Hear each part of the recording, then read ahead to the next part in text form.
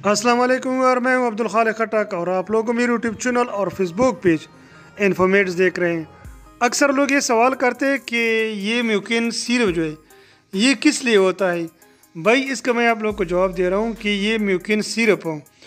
आपकी मैदे के लिए बहुत ज़रूरी है, क्योंकि मैदे में अक्सर बीमारियाँ हुए जिनमें मैदे में तेज़बियत का मसला होता है, ये इसलिए भी है। अगर आपके मैदे में जलन का मसला है तो ये इसलिए भी है। अगर आपके मैदे में जलन के साथ साथ कट्टी कट्टी डकारे भी आ रही है तो इसके लिए भी आप लोग इसको इस्तेमाल कर सकते हैं। ये भी इसका बहुत अहम फ़ंक्शन होता है। अगर आप लोग चावल खाते हैं, चाय पीते हैं, या इस किस्म के और खुराक खाते हैं, जिसकी वजह से आपके मैदे में गैस होती है तो ये म्यूकिन सिरप इसके लिए भी बहुत आम है। और साथ साथ अगर आप लोगों का हाजमा सही नहीं है, बदहजमी की शिकायत है तो इसके लिए भी आप म्यूकिन सिरप इस्तेमाल करें, ये भी इसी के लिए हैं। अगर आप लोगों को भूख नहीं लगती है तो ये म्यूकिन सिरप भूख के लिए भी बहुत अहम है।